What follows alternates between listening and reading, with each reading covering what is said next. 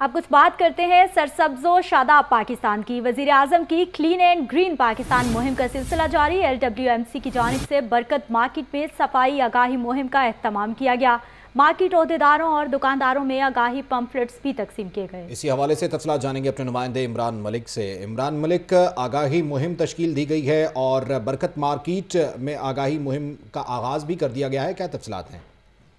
Tariq face بالکل، چونکہ senior وزیر کی طرف سے اڑتالیس گھنٹے کی ڈیڈ لائن ہے ایل ڈبلیو ایم سی کو اور آج جو ہے چوبیس گھنٹے گزر چکے ہیں اور سے آج سارا دن جو ہے وہ جو گلی محلے ہیں چونک ہیں اور جو مارکیٹس ہیں وہاں پہ کلین اینڈ گرین جو ہے مہم اس کو چلایا جا رہا ہے اور اس خصوصی صفائی اگائی مہم میں لوور ویسٹ مینجمنٹ کمپنی کے کمیونیکیشن ڈپارٹمنٹ افسران اور سوشل موبلائزر کے ہمراہ جو ہے وہ اس مہم کو چلایا جا رہا ہے۔ اگائی مہم میں شرکا نے مارکیٹ کے عہدے داران دکانداران اور خریداروں میں صفائی اگائی پمفلٹ بھی تقسیم کیے جا رہے ہیں۔ اس موقع پر ایل ڈبلیو ایم سی اور پنجاب یونیورسٹی کے شرکا نے برکت مارکیٹ میں خود کوڑا جو ہے وہ کٹھا بھی کیا ہے۔ اگائی عمران ملک آپ تفصیلات سے آگاہ کر رہے تھے۔